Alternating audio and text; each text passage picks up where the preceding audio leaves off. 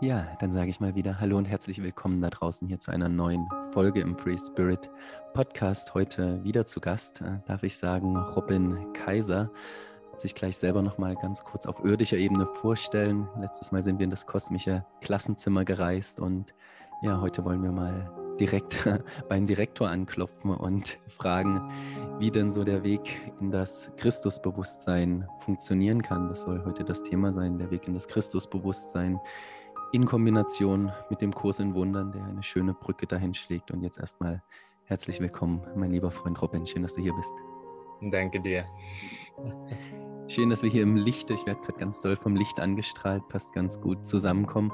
Robin, für die, die vielleicht unseren ersten Podcast noch nicht gehört haben, magst du dich auf weltlicher Ebene einfach mal ganz kurz vorstellen? Wer bist du denn und, und was machst du hier in dieser Erdeninkarnation? Ich würde sagen, dass ich ein Botschafter bin von anderen Ebenen, Botschafter, Übersetzer, Sprecher und Kanal für genau diese Übersetzung von, ja, ich möchte letztlich sagen, dem Christuslicht. Das wurde in den letzten Jahren immer klarer und das, obwohl ich nicht konfessionell aufgezogen wurde, sondern mir ganz viel Freiraum in meiner Entfaltung gegeben wurde und ich früher nie hätte glauben können, dass ich eine so tiefe Verbindung mit dem Christusbewusstsein irgendwann äh, erfahren darf. Mhm. Und ähm, habe einige Jahre wirklich intensiv mit dem Kurs in Wundern gearbeitet, hat äh, so tiefe göttliche Erfahrungen in mir aufschließen können. Und ähm, ja, nebenbei habe ich Psychologie studiert. ähm, weil es auf weltlicher Ebene wichtig ist für manche Bereiche. Mhm. es wird aber immer freier, dass ich äh, mir selbst erlaube, jenseits von ähm, ja, weltlichen Modulen oder Konzepten wirklich einfach nur noch reinweg über die Wahrheit zu sprechen. Mhm. Ah, ich finde das ganz schön. Das berührt mich, weil ich kenne dieses Gefühl, sich vorstellen zu wollen. Und was sage ich denn jetzt auf weltlicher Ebene? Was ich studiert habe, was ich für Bücher geschrieben habe? Oder sage ich, sage ich einfach echt meine inkarnatorische Aufgabe? Und ich war jetzt selber gespannt, was du sagen wirst. Und ja, danke für den Mut, das so auszudrücken, weil also ich denke ganz immer häufig, ich will einfach sagen, ich bin, ich bin ein Mensch erstmal, ich bin inkarniert, ich bin ein Mensch, ich bin Bewusstsein und ja, schön, schön, dass du das so ausdrückst. Ja, du hast gerade ja die zwei Hauptbegriffe angesprochen, Christusbewusstsein und Kurs in Wunder, darum soll es auch gehen. Gern würde ich dich trotzdem auf menschlicher Ebene vorher nochmal fragen, wie geht es dir jetzt gerade, ja, hier in dieser Zeit inkarniert zu sein, in deinem kosmischen Raumanzug? Was macht die Erde mit dir da draußen und ja, wie, wie geht es dir vielleicht heute auch aktuell?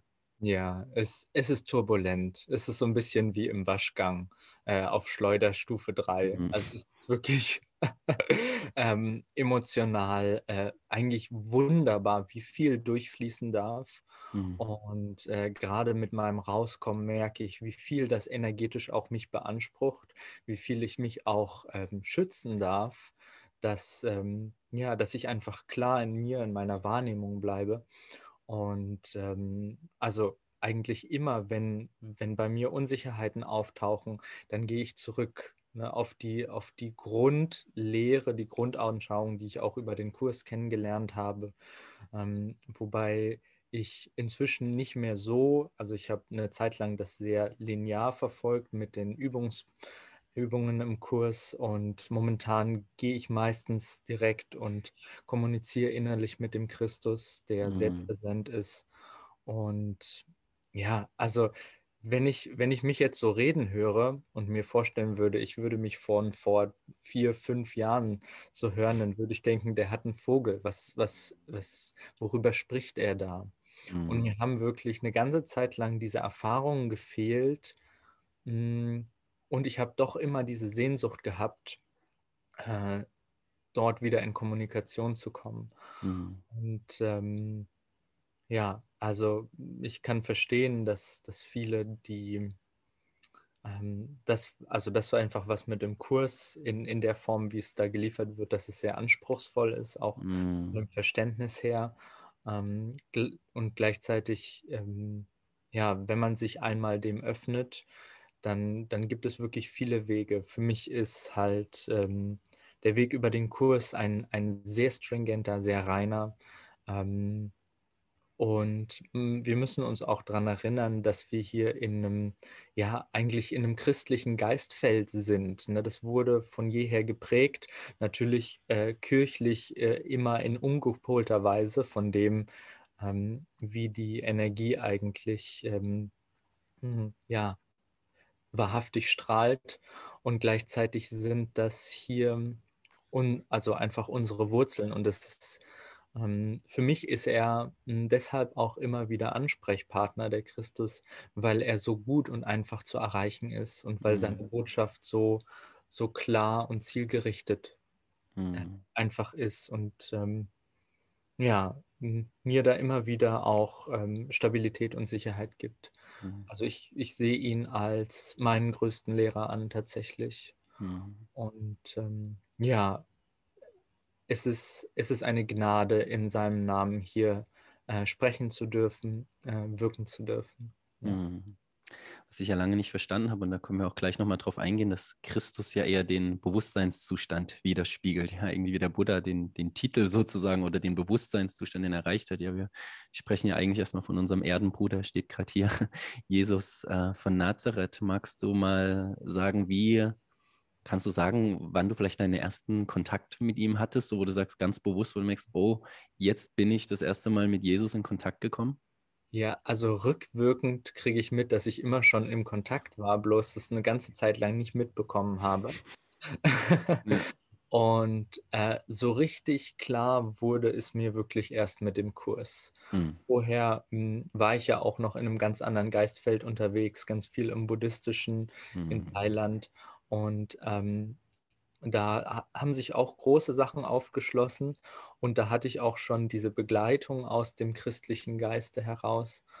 Hm, und es ist also vielleicht auch hier nochmal für, für das Verständnis von dem, worüber wir hier reden. Ne, es geht ähm, nicht um eine historische Figur, sondern es geht um einen universellen Bewusstseinszustand, in dem wir gerade als Menschheit eingeweiht werden. Ne? Also das ist nichts, was einen Einzelnen ähm, betrifft, sondern jeder, der sich dafür öffnet und sich dafür bereit erklärt, dem Göttlichen hier zu dienen, äh, der wird ähm, ja ich sag mal so, eingetaucht in goldenes Licht. Mm. Ja, ja, ja. finde ich, find ich gut. Ja, jetzt ist es ja schon oft gefallen, der Begriff Kurs in Wundern oder der Kurs. Ähm, vielleicht der ein oder andere Zuhörer, Zuschauer kennt den Kurs. Ja, hinten steht er, so sieht doch, kann ja mal kurz zeigen, das für, für jemanden, noch gar nicht gesehen haben. Ja, der, der Kurs in Wundern, also ein wirklich dickes Buch. Ich finde es fast bibelähnlich.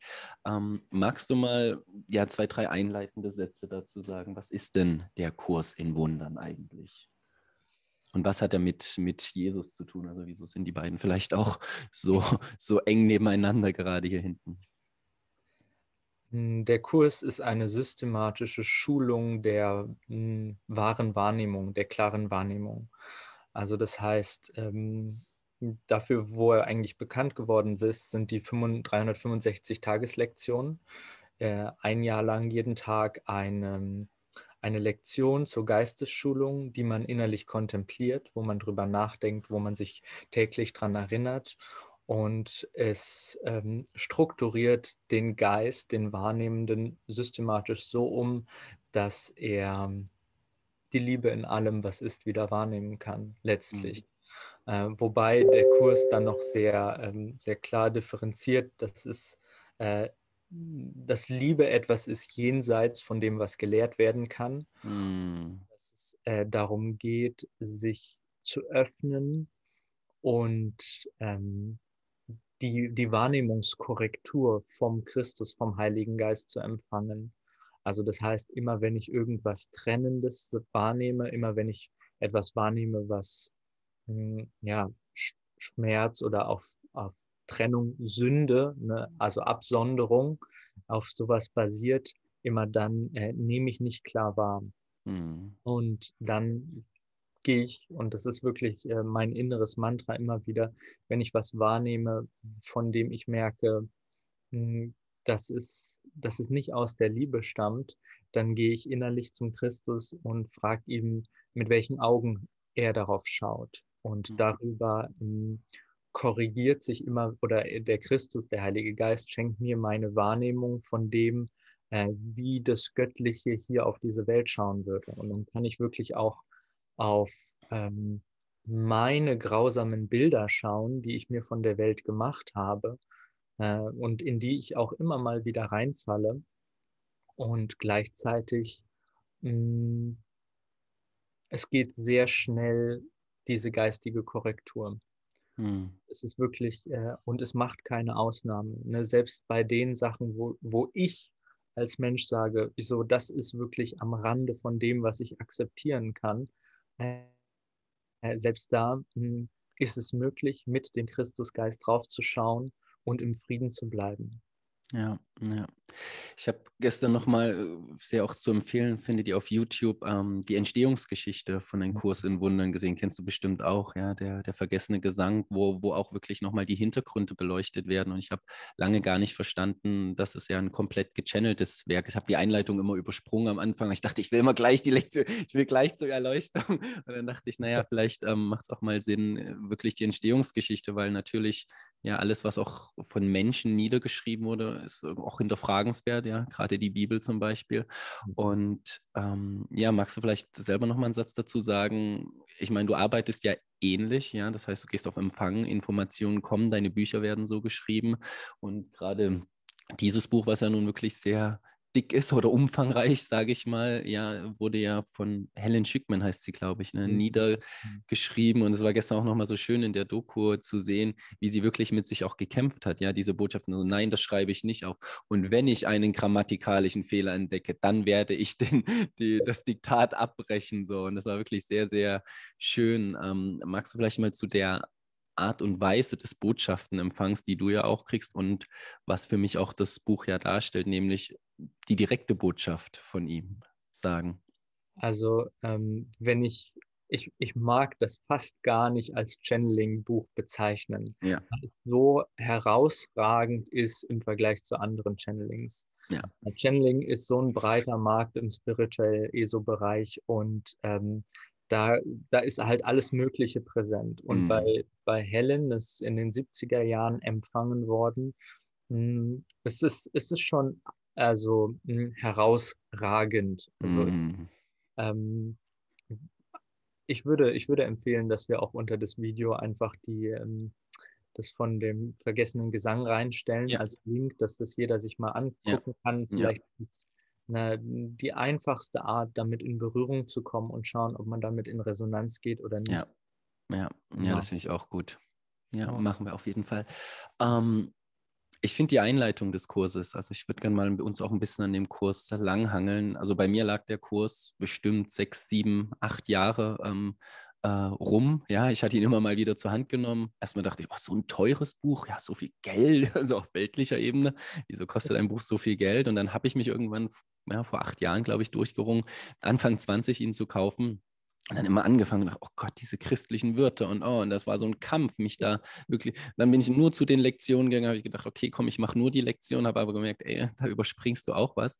Und was sehr, sehr spannend ist, dass das erste Wunder, das mir erst jetzt äh, klar geworden ist, ich habe damals weiß nicht, wann das war, meinen Namen reingeschrieben und habe gesagt, so für Liebe und Freiheit, ja, und wusste noch überhaupt gar nicht, was sozusagen in meinem Leben auf mich zukommt. Und jetzt acht Jahre später zu sehen, dass ich mit Momo sozusagen nach draußen gehe, unter Liebe und Freiheit, und denkst so, das ist krass. Also das sind echt ein paar krasse Synchronizitäten. Man könnte natürlich sagen, ja, Zufall, aber da kommen wir auch dann schon gleich zu den Wundern. Und ich wollte kurz zu der Einleitung kommen, weil ich habe erst das Bild vorher gesehen zu der Einleitung, dass es ja uns, dass es ein Pflichtkurs ist. Ja, der Kurs ist ein Wundern, ist ein Pflichtkurs, fand ich schon immer doof, dass mir irgendjemand sagt, dass ich einen Pflichtkurs zu machen hätte. Ich entscheide bitte schön, was für Kurse. Und dann fand ich aber den nächsten Satz, nur die Zeit, in der wir ihn machen, steht uns frei. Heißt aber nicht, dass wir den Lehrplan bestimmen können. Deswegen finde ich auch die Verbindung zu unserem kosmischen Klassenzimmer zu, sehr gut. Ähm, Warum ist das ein Pflichtkurs? Warum müssen, müssen, sind wir eingeladen dazu, äh, diesen Kurs zu machen? Das, ähm, das Buch in dieser Form ist natürlich nicht die, also die Form ist niemals das Obligatorische, das Obligatorische ist dieses Bewusstsein, was auf uns alle zukommt.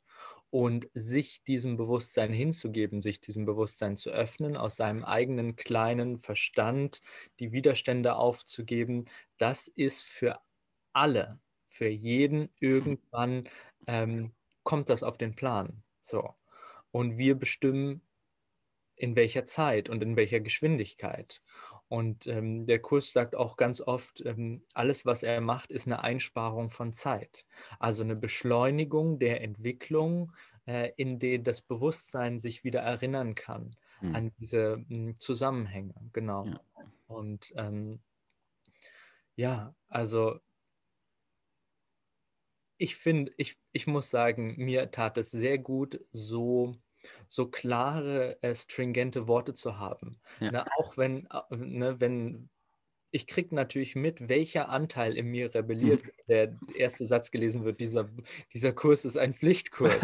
Und da, da kriege ich sofort mit, Klein Egon ist richtig on Rebellion und sagt sich niemals. Und ähm, das ist aber, hm, es sind immer wieder Passagen dabei, äh, wo Klein Egon in Rebellion geht. Und ich liebe das. Ich liebe das, dass mir in meinem Geist aufgezeigt wird, ähm, ja wo ich noch nicht in der Hingabe bin und wo ich noch mh, hm, gegen meine eigene ähm, Entwicklung Widerstände aufgebaut habe. Mhm. Und kaum ein anderes Buch ist so stringent, ähm, den Wahnsinn innerhalb meines eigenen Geistes aufzuzeigen. Also radikal und schonungslos. Und ähm, es, war, es war für mich eine unglaubliche Erleichterung, äh, weil ich mitgekriegt habe, dass, dass das einfach schon die ganze Zeit vorher auch präsent gewesen ist äh, und es noch nie es noch nie einfach in der Form an die Oberfläche gekommen ist.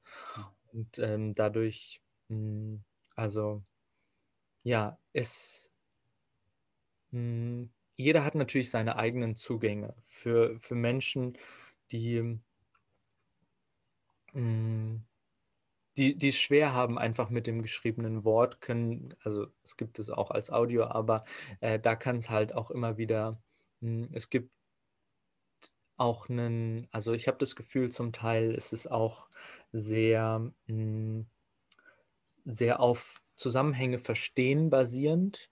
Und ähm, es gibt auch weiblichere Wege als den Kurs, äh, mit dem Christusbewusstsein in gefühlten Kontakt zu kommen. Mhm. Ähm, ja, und da muss, da muss man einfach schauen, was dient mir gerade, um mich mit einem höheren Bewusstsein zu verbinden. Und, ja. ja. Ja, in dem Zusammenhang auch ein, ein Pflichtkurs. Ja, es ist ein Pflichtkurs, nur, also ich glaube auch, dass es sehr, sehr viele verschiedene Wege gibt, den Inhalt zu lehren. Also ich glaube persönlich jetzt auch nicht, dass man genau dieses Buch machen muss, um zu diesem Bewusstsein zu kommen, sondern dass es, wie du auch schon gesagt hast, aus anderen Traditionen, ja, auch aus der, aus der buddhistischen Tradition, aus der hinduistischen Tradition sehr, sehr viele Wege gibt. Aber das ist, glaube ich, auch ja, unser westlicher Weg oder einer der Wege, der uns eben in unserem ja, Feld hier angeboten wird, weil er einfach unsere, unsere Art der Mystik und Offenbarung beschreibt. Ja, auch die Worte allein, ja, Offenbarung, ja, das sind ja Worte von uns. Und was du vorhin gesagt hast, ja, Klein Egon rebelliert, ja, der auch bei mir rebelliert hat, macht ja auch total Sinn, weil dieser Kurs sozusagen das Ende von Klein Egon einläutet, einleitet. Und dann, deswegen ist auch total verständlich, warum dieser Teil rebelliert. Und da möchte ich nochmal kurz auf die Einleitung, weil eigentlich sagt die Einleitung alles. Ähm, es ist ein Pflichtkurs, die Zeit steht dir frei. Und dann kommt eigentlich der für mich äh, der alles entscheidende Satz ja, des Kurses, der nämlich sagt, nichts, was wirklich ist, kann bedroht werden und nichts Unwirkliches existiert. Hierin liegt der Frieden Gottes. Und ich weiß, als ich das das erste Mal gelesen habe, dachte, what? Warte mal. Also es war auf der einen Seite Erlösung und Clash in einem. Also es war wirklich so, nichts Wirkliches kann bedroht werden. Stimmt, nichts Wirkliches existiert. Warte mal, da hätte ich eine Frage. Und jetzt noch darin liegt der Frieden Gottes. Genau.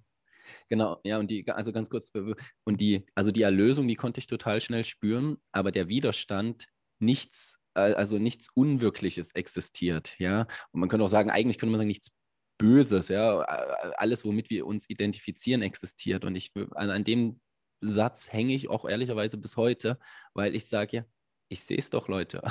Hey, Heiliger Geist, ich sehe es doch. Es ist doch gerade vor meinen Augen das scheinbar Böse. Wie, wie gehst du für dich mit diesem Teil um? Nichts Unwirkliches existiert wirklich, obwohl ich ja denke, es zu sehen. Ähm, das Unwirkliche basiert auf Trennung, basiert auf meinem gespaltenen Geist. Also alles, was auf Trennung basiert, wird unwirklich mhm. letztlich. Äh, und diese Welt und alles in der Welt basiert auf Trennung und Spaltung.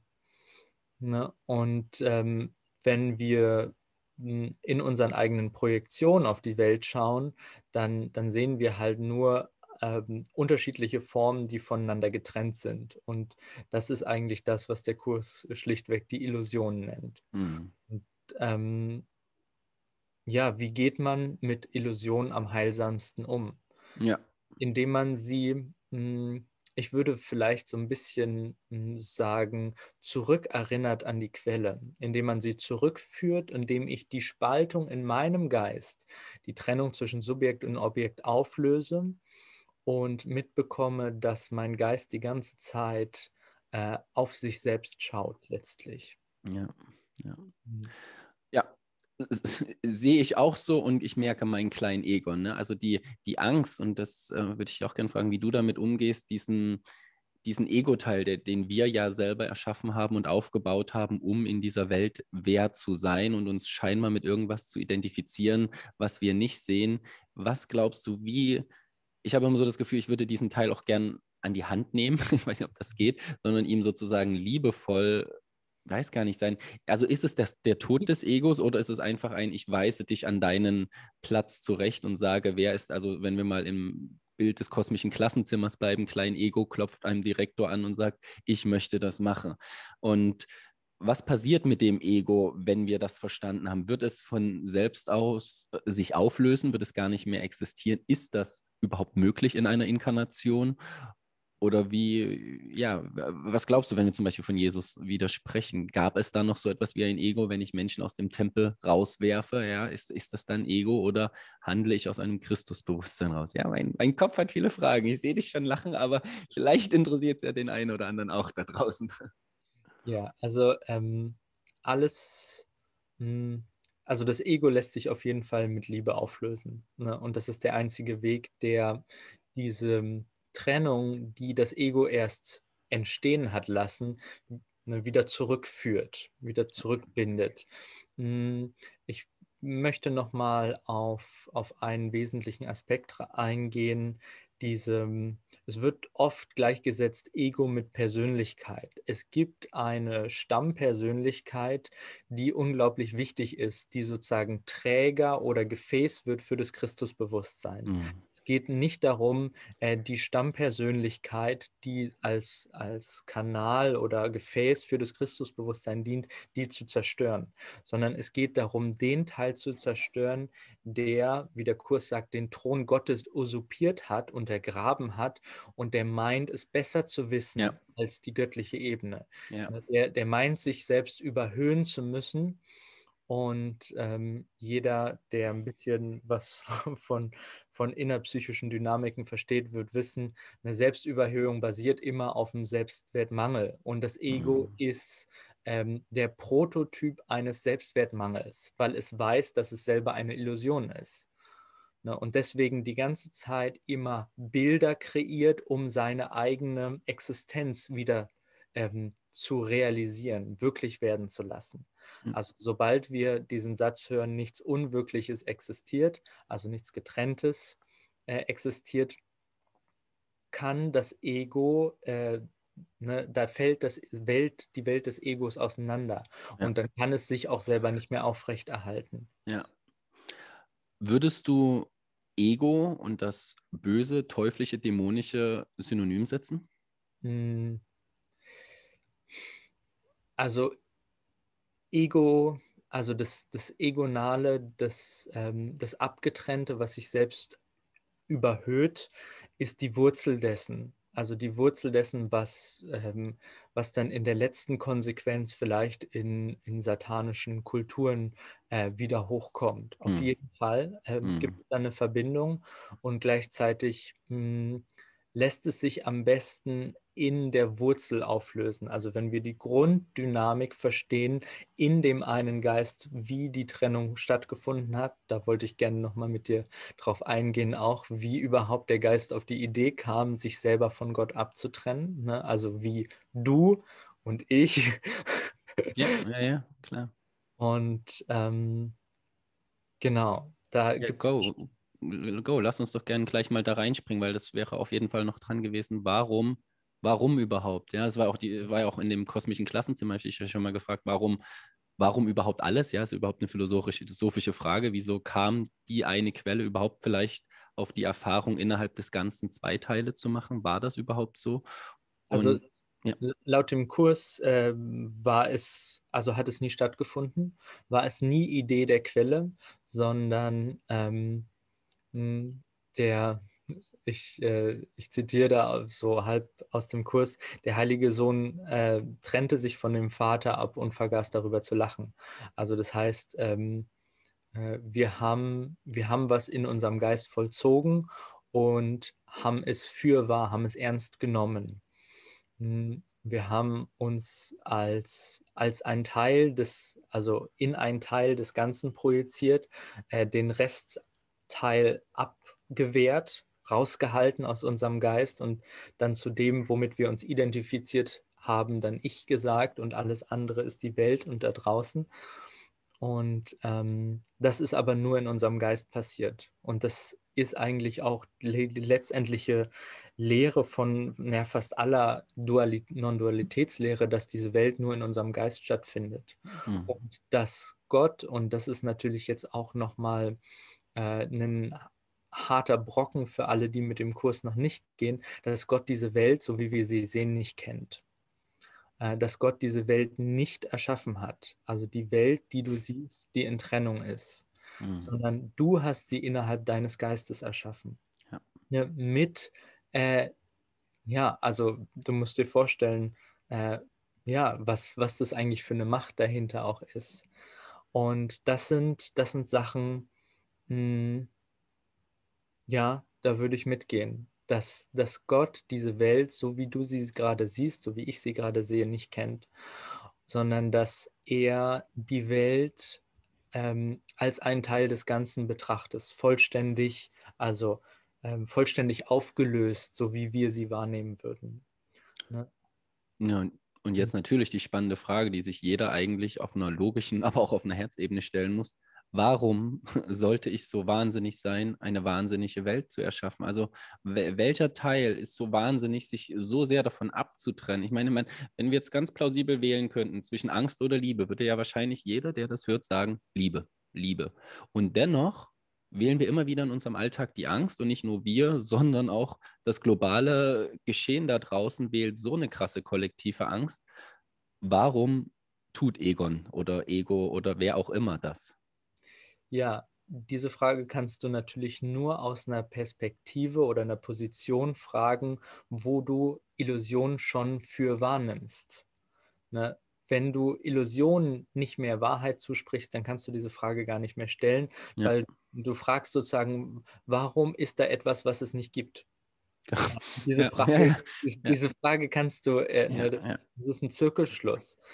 Ähm, auf der einen, und darauf gibt es auch ähm, keine Antwort, auf, also auf keiner Ebene. Entweder sagst du, okay, äh, nichts Unwirkliches existiert äh, und erkennst, äh, dass es alles innerhalb deines Geistes äh, geschehen ist, oder ähm, du verstrickst dich einfach noch mehr in deine eigenen Projektionen. Das sind die zwei Ebenen. Hm. Äh, Und dazwischen, also der, der, der Versuch, einen Brückenschlag von der relativen zur absoluten Ebene mit der Frage, warum gibt es etwas Getrenntes oder etwas Böses, ähm, der kann in der Weise nicht beantwortet werden. Es kann dir nur, wenn man bereit ist, die gesamte Erfahrung aus deinem Geist heben.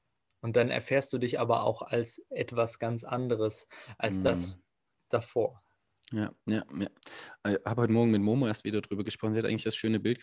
Eigentlich ist es wie ein Traum, den wir ja haben. Ja, wir können ja nachts träumen und wir können auch einen Albtraum träumen.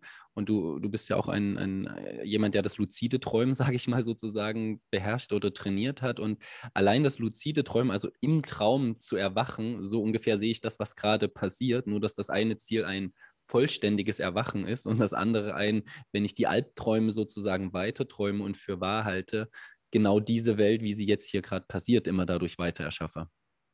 Genau. Und also deswegen finde ich auch diese, also das Bild, luzides Träumen, ja, sehr, sehr spannende Geschichte. Aber auch da, um wieder, eigentlich immer wieder nur zu erkennen, es ist ein Traum. Ich möchte jetzt mal etwas vorziehen, was ich eigentlich am Ende gemacht hätte, aber es für wichtig halte, weil ich habe wirklich viele Menschen gesehen, die crazy gegangen sind mit dem Kurs, ja, die diesen Upside-Down-Flip nicht aufgefangen haben, die zum Teil in der Psychiatrie gelandet sind, die wahnsinnig geworden sind, die das nicht aufgefangen kriegen, was ich auch echt verstehen kann. Ja, also ich merke es ja. ja bei mir und ich halte mich für einigermaßen gesettelt und manchmal denke ich, okay, wenn ich das glaube, what, wie, wie soll ich leben? Also ja. Hm, gibt es für dich auch so eine Art, ja, vorsichtige Warnung beziehungsweise einen gesunden Umgang und vielleicht hast du auch eine Idee, was können wir tun, wenn dieser Effekt einsetzt, wenn ich das Gefühl habe, crazy zu werden.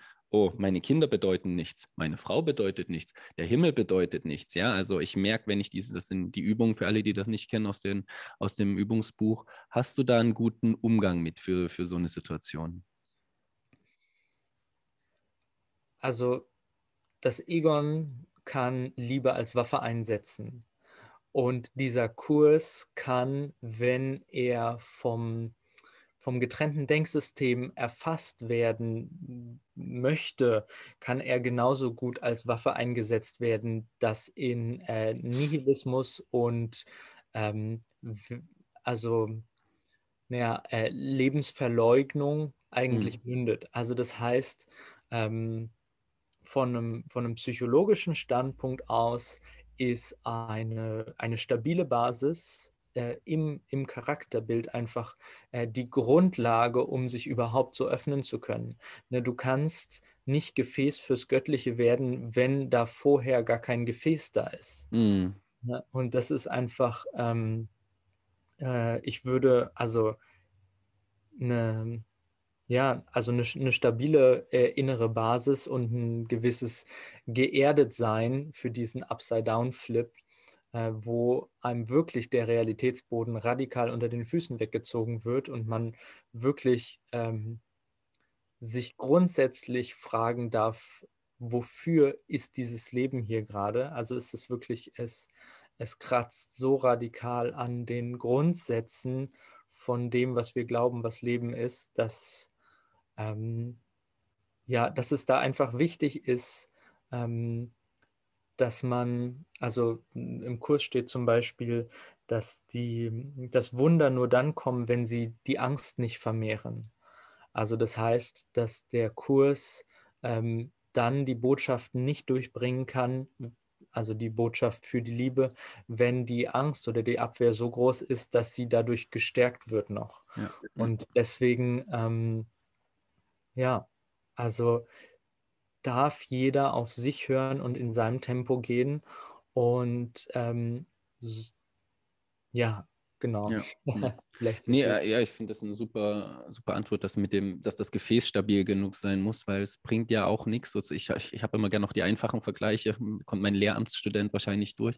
Ähm, du würdest ja einem Kind in der zweiten Klasse jetzt auch nicht die Integralrechnung vorsetzen. Das würde ja auch wahrscheinlich sehr, sehr crazy gehen. Also es gibt natürlich auch einen gewissen Aufbau und eine Reihenfolge. Und ich glaube auch, dass der Kurs sehr intelligent ist, wann er zu dir kommt, sozusagen. Ja, also dass es schon eine gewisse Reife gerade braucht, bis du überhaupt über äh, auf die Idee kommst, dieses Buch dir zuzulegen. Ja, also das, das erreicht dich, glaube ich, auch. Und dann, wie gesagt, ich habe auch von meinem eigenen Prozess gesagt, es lag fünf Jahre rum, immer mal auf, zu, auf, wieder.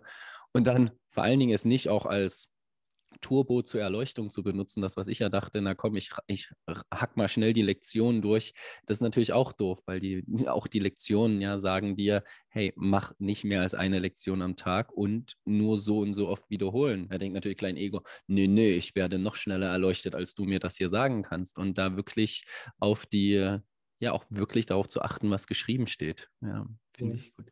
Ich würde gerne nochmal, wenn du magst, auf den Aufbau dieses Buches, weil er besteht ja aus drei Teilen sozusagen. Ja, wir haben am Anfang ein, ein Arbeitsbuch, ein, ein, Textbuch, ein Textbuch, genau das Textbuch. Dann kommen die Lektionen, das ist das Arbeitsbuch und dann haben wir noch das Handbuch für Lehrer. Was, was ist das für eine Dreiteilung, für einen Dreiklang? Warum gibt es diese drei Teile? Ähm, das, äh, über, also das Arbeitsbuch am Anfang ist sozusagen die Theo das theoretische Grundlagenwerk. Das sind irgendwie 600, 700 Seiten oder so. Mhm.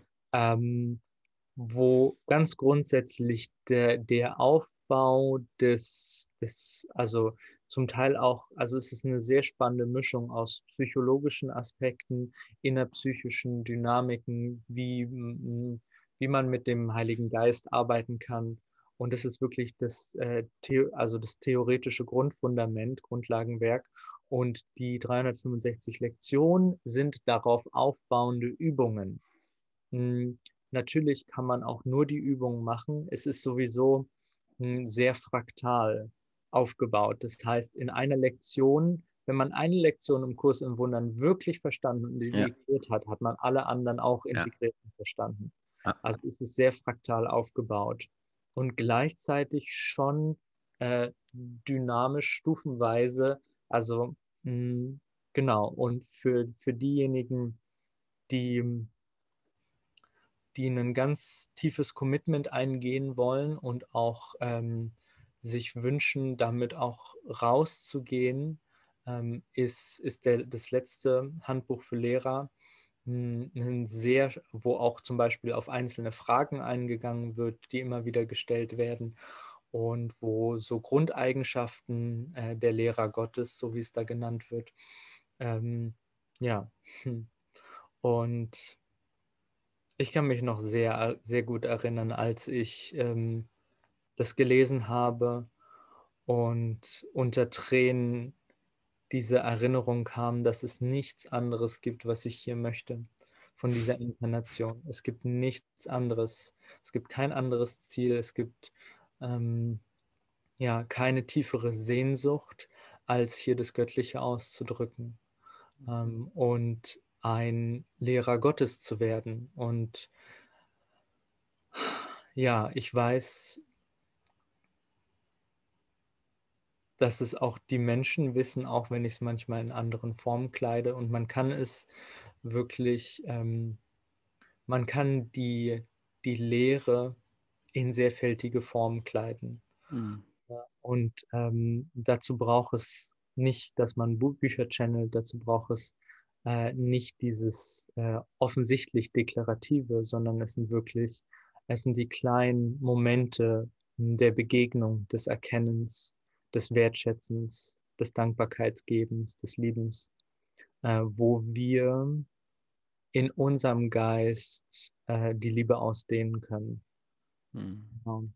Und äh, das sind einfach, äh, ja, ich bin, ich bin einfach zutiefst dankbar und berührt, dass ich, ähm, dass mir die Ehre zuteil wird, ne, dass äh, damit öffentlich zu arbeiten. Es gibt keine schönere Botschaft, mit der ich rauskommen könnte. Und gleichzeitig gibt es nichts Schöneres, was es, ähm, was ich mir für mich wünschen würde, als noch tiefer in diese Botschaft, in dieses Bewusstsein hineinzuwachsen, mhm. mit jedem, mit dem ich das teile. Ja, das sehe ich auch so. Und es ist am Ende des Tages eine logische Konsequenz. Also ähm, wir, Momo und ich haben jetzt auch mal drüber gesprochen.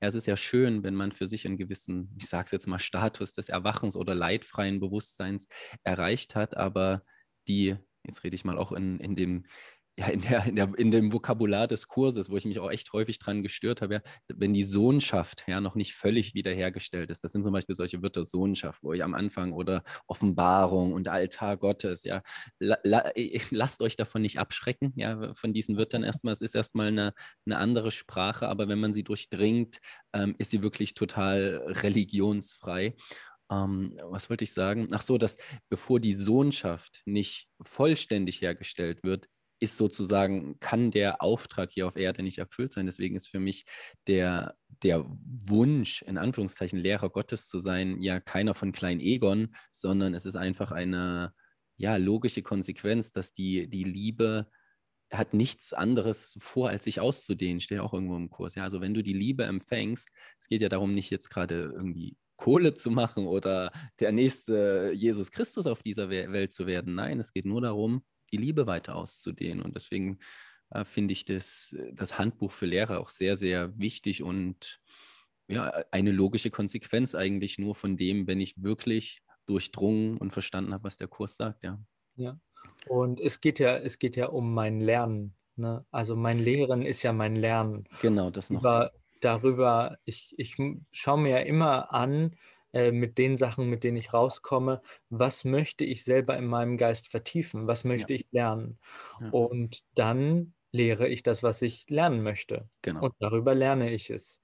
Genau. Und das machen wir eigentlich die ganze Zeit. Und wenn du mh, hm, irgendwie zu jemandem was sagst, dann kann immer eine Stimme darauf hören, okay, was bringst du dir damit mm. selber bei, ne, wenn du das und das sagst? Genau. Was bringst du dir selber bei, wenn du von ähm, ja, bösen außerirdischen Kräften sprichst, die die Menschheit versklaven. Mhm. Was bringst du dir damit bei? Ähm, und was für Auswirkungen hat das, wenn du äh, an das, was du dir selber gelehrt hast, wenn du an das anfängst zu glauben? Ja. ja. Jetzt hast du einen spannenden Punkt natürlich ins Spiel gebracht. Du ja. weißt wahrscheinlich, worauf ich hinaus will, aber ich finde es total, also da, auch da hänge ich immer wieder, weil ich bin auch jemand, der ich habe in einem anderen Podcast schon gesagt, auch sehr, sehr tief in diesen dunklen Ebenen grabt und gräbt und forscht, was ist da wieder passiert und da wieder passiert. Wie können wir, sage ich mal, den Kurs deiner Meinung nach jetzt auch auf diese Zeit gut anwenden, dass wir natürlich nicht äh, verblendet nur in den Albträumen schauen und das, was auch irgendwie aufgedeckt werden muss, aufdecken, wenn es denn aufgedeckt werden muss, Klammer zu, oder inwiefern tun wir, tun wir wirklich nur unser Bewusstsein, ich sage jetzt mal, auf die Inhalte des Kurses richten, ohne jetzt sozusagen einen, einen psychologischen Abwehrmechanismus zu entwickeln, der sagt, das ist ja alles, das ist ja alles gar nicht wahr. Ja, ich habe ja damit nichts zu tun. Weißt du, also diese Brücke zu schlagen von, ja, diese Welt, diese Menschen, die Zuhörer, die uns jetzt zuhören, wir als eins, und der Kurs auf der anderen Seite, weil du auch gesagt, du gibst ja auch andere Themen in deinen Podcasts noch nach draußen. Wie, wie schlägst du für dich diese Brücke?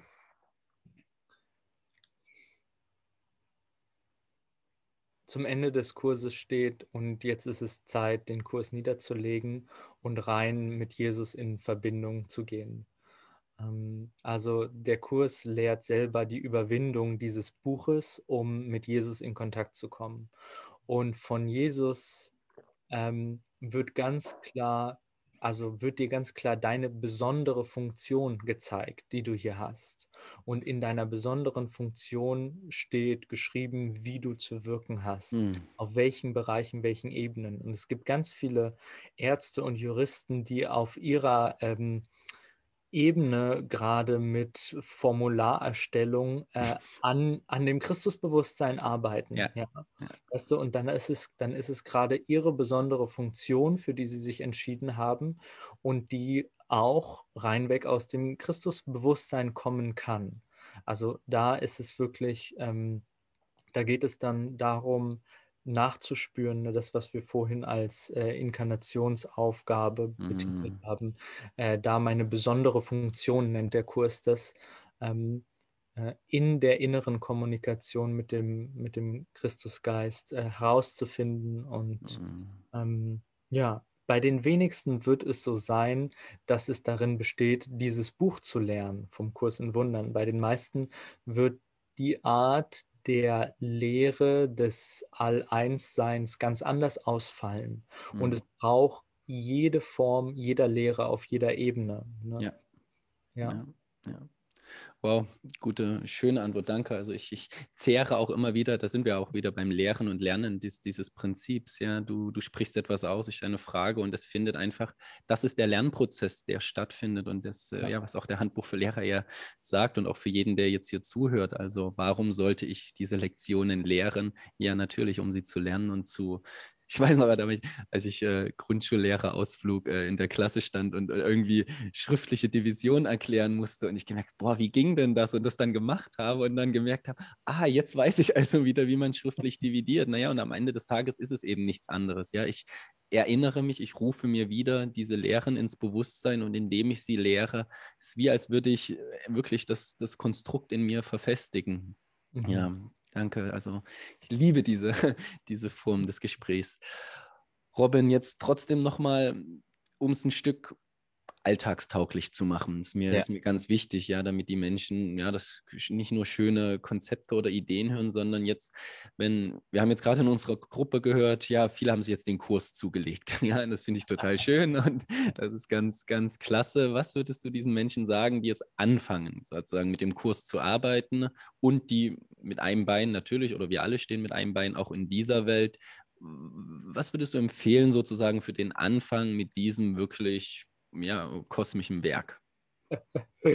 Das ist ein bisschen schwierig, weil ich dann auf meine eigenen Erfahrungen hm. referieren müsste und ich wirklich äh,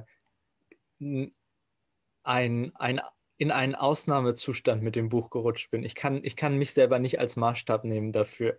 Ich habe ich hab über, weiß ich nicht, äh, sechs Wochen äh, Weinen, Lachen, Weinen, Lachen, den, den ganzen Kurs, also das Grundlagenwerk durchgelesen und gedachte die ganze Zeit, ich hätte es selber geschrieben, weil ich so mit dem Christusgeist verbunden war und man nach jedem Satz weiß, wie der nächste Satz lautet.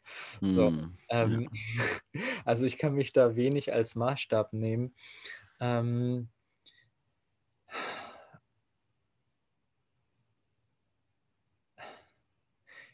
ja, innerlich sich selber zu vertrauen, seiner Wahrnehmung zu vertrauen, wie man mit diesem Buch bestmöglich auf Reisen gehen kann und es nicht von dem Buch oder der Sprache abhängig zu machen, hm, sondern mehr wirklich sein ganzes Leben als diese Reise wahrzunehmen, in der man gerade steckt. Hm, und hm, es hat also in diesem Format hat es auch viel mit Selbstverantwortung, Selbstcommitment zu tun, dass du dich ähm, einnordest und dir ganz klar ähm, bei dir auf Tuchfühlung gehst, an welchen Stellen bist du nicht ganz ehrlich zu dir selbst und bückst immer wieder nach links oder nach rechts aus. Mhm. Also das heißt, die, die Grundlage dessen, und ich merke schon wieder, dass ich so ein bisschen daran vorbeigehe, äh, was Alltagstaugliches zu bringen. ähm, also die, die einfachste Form ist, setzt euch hin und macht diese Lektion. ja, ja. Das ist wirklich, äh, das ist äh, eigentlich sehr, sehr konkret und sehr klar geguidet. Mm. Und sucht euch vielleicht auch, also es gibt da Gruppen, es gibt, äh, es gibt auch einen Kurs in Wundern Festival, von, wo ich von Anfang an immer dabei gewesen bin. Ähm, ja, ich habe ich hab vor, früher oder später auch noch direkter mit dem Kurs zu arbeiten. Gerade ist es für mich noch nicht dran. Hm. Ich werde früher oder später eine, eine Telegram-Gruppe auch dazu aufmachen, wo, wo wir die einzelnen Lektionen auch nochmal tiefer ja. ähm, durchgehen. Äh, jetzt kann natürlich äh, ein kleiner Ego auf die Idee kommen, okay, ich warte darauf, bis er dieses Angebot schafft. Nein, das Angebot ist schon da. Ja. Ja. Ähm, ich werde es irgendwann nochmal präzisieren in der Gruppe. Mm, ja, es gibt äh, von Sunship Press unglaublich schön eingesprochene Audiodateien äh, von die auch für, für diejenigen, die eher übers Auditive ähm, lernen. Genau. Mhm. Ja, und, hm, und ansonsten äh, kann man sich auch annähern über das äh, Video der vergessene Gesang oder die Bücher von Gary Renard. Äh, zum Beispiel ähm, Die Illusion des Universums ist ein mhm. Klassiker. Es gibt viel Sekundärliteratur von Leuten, die den gelehrt haben und damit auf Wanderschaft gewesen sind. Und man kann sich zum Teil über Sekundärliteratur annähern, wenn es einem too much ist. Äh, gleichzeitig würde ich immer empfehlen, ja. direkt ins Schwarze. ja, also da habe ich auch immer gedacht, wenn dann direkt zur Quelle und ich habe auch ein Ja. bisschen Sekundärliteratur ja, und finde das auch gut und wichtig, aber ich möchte auch die reine, klarste Botschaft nicht nochmal gefiltert hören. Ich meine, wir filtern ja jetzt auch, aber ich brauche auch den, den direkten Kontakt. Und ja, ich, auf meine Frage sozusagen zurückzukommen, du hast den Sechs-Wochen-Weg gewählt, bei mir lag es gefühlt sechs Jahre im Schrank, ja, und ich habe es immer mal raus und rein. Also da findet wirklich jeder, glaube ich, auch seinen eigenen Drive damit. Und ich, was ich wirklich auch schön finde, was mir mit Momo wirklich ultra hilft, also wir lesen uns das vor gegenseitig, ja, wir lesen uns den Kurs vor und eigentlich, wenn ich ganz ehrlich bin, also wir schaffen maximal ein oder zwei, vielleicht drei Kapitel, dann raucht das hier oben so sehr und dann merke ich auch, dann kann ich auch irgendwie, ich persönlich, ja, das kann bei dir und bei jemand draußen ganz anders sein, gar nichts mehr aufnehmen. Ich sitze auch mit meinem Stift da und unterstreiche und dann Momo meldet sich dann immer und sagt, äh, kurze Pause und dann reden wir über den letzten Satz und, Ja. und das hilft wirklich, ja, also da sind wir schon in dem Lehr- und Lernprozess zusammen und ich finde die Idee super cool, da einen Kanal aufzubauen, auch nochmal, ein Telegram bietet wirklich viele Funktionen und Möglichkeiten, da in einen guten Austausch zu gehen, weil ja, das einfach hilft, um das zu verinnerlichen, ja. Hm, auf jeden Fall. Ich bin, bin gerade total dankbar, merke ja, es ist dann atmet ein Teil durch, war wirklich aufgeregt vor dem, vor dem Interview, weil ich gedacht habe, boah Gott, Christ, also allein das Wort Christusbewusstsein, also Gott, da kann ich denn, ja, in meinen jungen Erdenjahren darf ich überhaupt ein Interview über das Christusbewusstsein führen? Und na klar, wenn Ego denkt, ich bin das Christusbewusstsein, dann wird es schwierig, aber wenn ich das Christusbewusstsein einlade, und das habe ich auch wirklich ganz bewusst vorher gemacht, hey, bitte lass mich aus dem Weg gehen und übernimm du.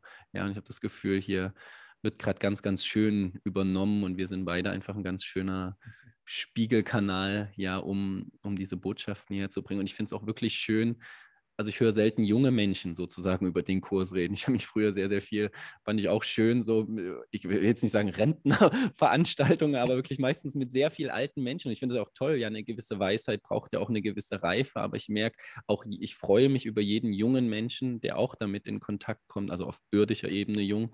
Ähm, ja, weil das einfach auch gut tut, ja, die, die, gerade auch diese Sprache, die wirklich zäh ist. Zäh ist so, für mich zäh ist. Ja, für manche finden das total lyrisch wertvoll, für mich war es sehr zäh, ähm, sich da durchzubeißen. Und da bin ich ja auch dir sehr dankbar, dass du gesagt hast, hey komm, lass uns, lass uns den Kurs auch wirklich hernehmen und das, das Christusbewusstsein. Und Ja. das würde ich jetzt gerne als Abschluss sozusagen nehmen, dieses, Kurs, äh, dieses Kurses ja, und dieses Podcasts, der Begriff Christusbewusstsein. Ich habe am Anfang, wir haben angefangen, ja, Jesus von Nazareth, äh, der zu Christus geworden ist oder es vielleicht schon immer war. Was ist für dich das Christusbewusstsein? Hm. Lass doch mal gerade reinspüren, was gerade in deinem Geist präsent ist. In den Momenten, in denen der Verstand nicht spricht.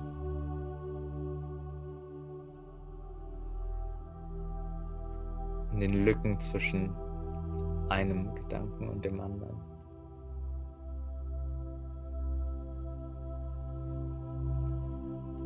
Und vielleicht mh, durch die Öffnung mh, kommt da so ein Gewahrsein.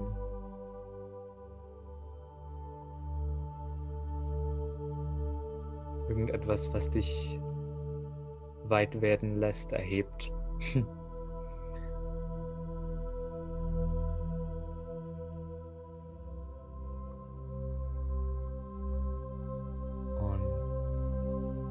dort in der Stille, in der Stille dieses Gewahrseins, mh, kann etwas wiedergefunden werden. Taucht etwas als Erinnerung auf.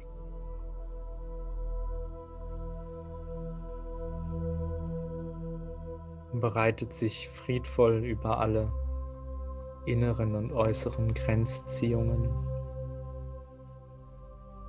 verbindet alles miteinander, was vorher unverbunden gewesen ist. Und in diesem Gewahrsein findet sich etwas wieder. Und da ist die Kontaktstelle.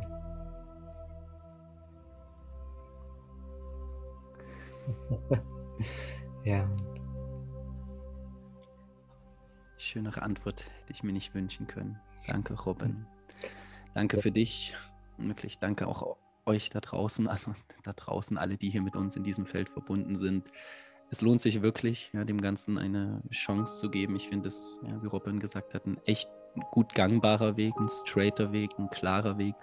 Ja, das, und vor allen Dingen ein nicht ausschließender Weg. Es sagt nicht, dass alle anderen Lehren falsch sind. Im Gegenteil, super, jeder darf weiter Yoga machen, weiter meditieren, weiter. Aber der Kurs ist wirklich eine und das sehe ich jetzt vor allem jetzt gerade erst ehrlicherweise nach acht Jahren Besitzer dieses sogenannten Buches, wie, wie tief das geht und vor allen Dingen auch in dem Kontakt mit dir, Robin. Also du hast ihn auch nochmal auf einer Ebene in mein Leben gebracht, wo ich merke, yo, jo, es lohnt sich, diese anfänglichen Widerstände wirklich auch zu überwinden in Sprache und Form und Dicke und auch dünne Seiten.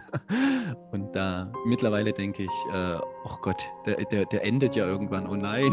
Am Anfang dachte ich, wann endet der? Und jetzt denke ich, oh nein.